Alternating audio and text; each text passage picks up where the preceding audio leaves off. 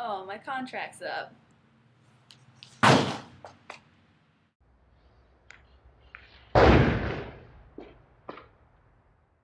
When you throw away a cell phone, do you realize what you're throwing away? Your average cell phone is made up of materials that are hazardous to the environment and potentially to your health. The cell phone coating is often made out of lead, which can leak into the earth's soil and groundwater in landfills if not recycled properly. Even lead free phones can still be classified as hazardous due to the high amounts of copper, nickel, antimony, and zinc. The battery often contains the most damaging substances. It can either be made up of nickel and cadmium, which are cancerous and can cause lung and liver damage, or contain explosive lithium and toxic lead. Other toxic materials include mercury, beryllium, and arsenic. If incinerated, the air can become polluted. Uh, usually I just throw them away. Um, probably every four years. Like every four or five months.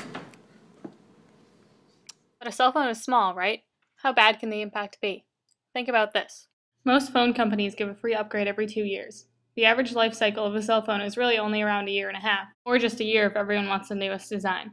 The rapid evolution of the cell phone and its design have really gotten consumers to upgrade their phones regularly in order to keep up. Take the new iPhone 4S, for example. In just the first weekend of its release, over 4 million products were sold.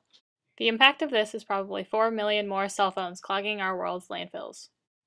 So, if most people from their mid teen years all the way through their adult life have a new phone every 18 months, we're talking almost 14 billion cell phones, and that's only counting the United States. All of these hazardous materials in landfills add up, having a substantial impact on our environment. Because of these issues, we are left with the need to design cell phones with the environment in mind and limit the use of hazardous materials. So put down that iPhone and take advantage of today's hip new innovations.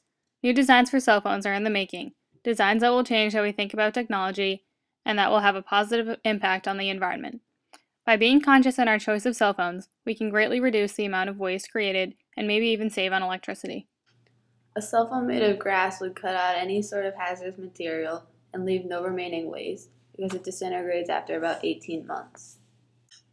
A coke powered cell phone would eliminate the need for an electricity charged battery containing hazardous materials. Charging your cell phone would be as simple as filling up your drink in the dining hall. So, talk on it? Hello? Oh, hey. What's up? Using recycled materials is a great way to make the world a greener place.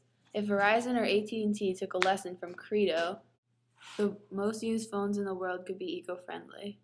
Credo is a nonprofit organization that's goal is to create eco-friendly cell phones. Their phone is made out of 87% recycled materials. Also, the outer casting of the cell phone consists of 19% recycled plastics, which helps reduce the amount of plastic being poured into the ground. The phone also comes with a solar powered charger, so it doesn't waste or use any electricity. If all phone companies used these phones, the world would be so much greener. So the next time you're looking to upgrade your cell phone, check into its design first. Is it made with the environment in mind? Could you be making a better choice in terms of its materials and means of power?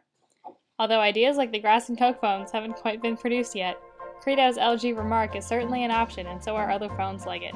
The design of a cell phone can have a significant impact on the environment.